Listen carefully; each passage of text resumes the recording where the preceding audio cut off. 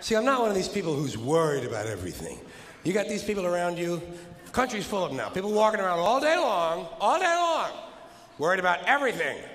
Worried about the air, worried about the water, worried about the soil. Worried about pesticides, insecticides, food additives, carcinogens, worried about radon gas, worried about asbestos.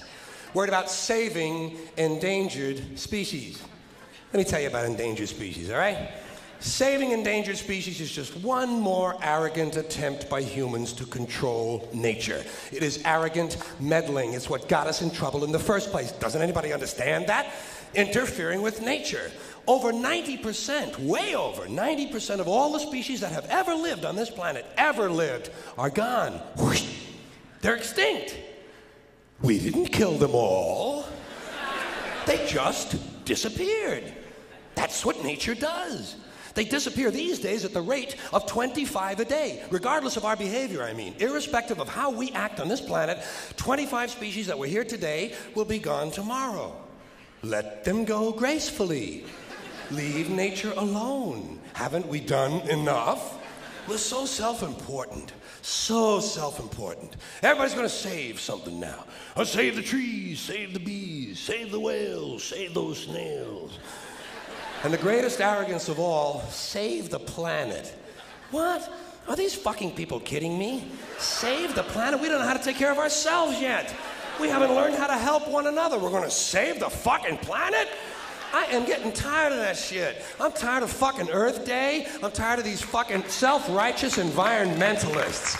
I'm tired of these white, liberal, bourgeois, liberal, white people who think the only thing wrong with this planet is there aren't enough bicycle paths. Trying to make the world safe and clean for their Volvos. And I'm really sick, really sick of these rock stars and movie stars gonna work off their cocaine guilt by saving a forest somewhere. Besides, Besides, there's nothing, besides, the, first of all, the environmentalists don't give a shit about the planet.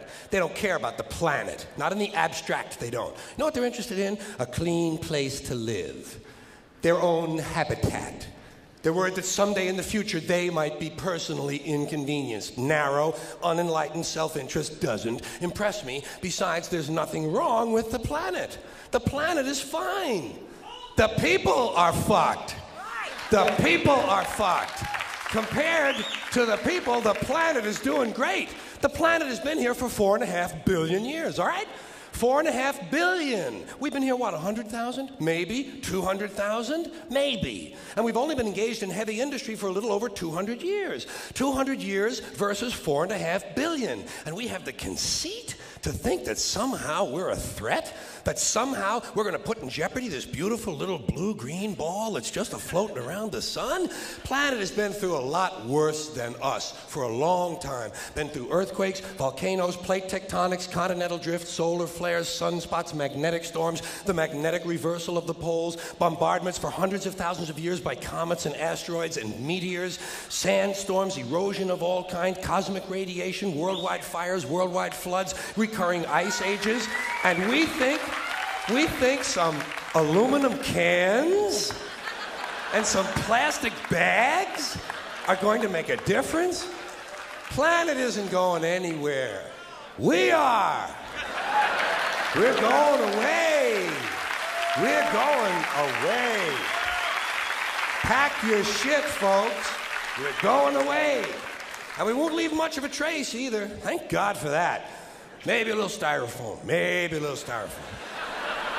Planet will be here and we'll be long gone. Just another failed mutation. Just another closed end biological mistake. An, an, an, evolutionary cul de sac. Planet will shake us off like a bad case of fleas.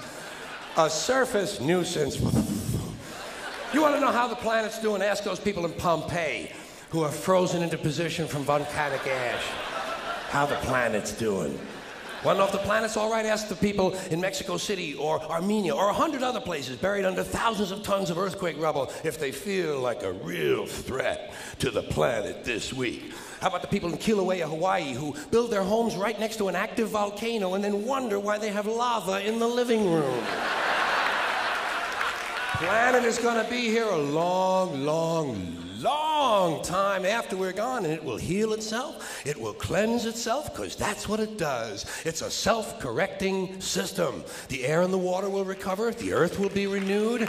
And say, if it's true that plastic doesn't degrade, well, the planet will simply incorporate plastic into a new paradigm the Earth plus plastic. The planet doesn't share our prejudice towards plastic. Plastic came out of the Earth. The Earth probably sees plastic as just another one of its children. Could be the only reason the Earth allowed us to be spawned from it in the first place. It wanted plastic for itself. Didn't know how to make it. Needed us. Could be the answer to our age old philosophical question why are we here? Plastic. Assholes. So. So, the plastic is here. Our job is done. We can be phased out now. And I think that's really started already, don't you? I mean, to be fair, the planet probably sees us as a mild threat, something to be dealt with. And I'm sure the planet will defend itself in, in, in the uh, manner of a large organism, like a beehive or an ant colony can muster a defense. I'm sure the planet will think of something. What would you do if you were the planet trying to defend against this pesky, troublesome species? Let's see. What might. Hmm, viruses. Viruses might be good they seem vulnerable to viruses. And uh, viruses are tricky, always mutating and forming new strains whenever a vaccine is developed. Perhaps this first virus could be one that, that compromises the immune system of these creatures. Perhaps a human immunodeficiency virus, making them vulnerable to all sorts of other diseases and infections that might come along. And maybe it could be spread sexually, making them a little reluctant to engage in the act of reproduction. Well, that's a poetic note, and it's a start. And I can dream, can I? I don't worry about the little things bees, trees, whales, snails. I think we're part of a greater wisdom than we will ever understand, a higher order. Call it what you want. You know what I call it? The big electron. The big electron. Whoa. Whoa. Whoa. It doesn't punish, it doesn't reward, it doesn't even judge. It just is. And so are we for a little while. Thanks for being here with me for a little while tonight. Thank you. Thank you. Appreciate it. Thanks very much. And take care of yourself.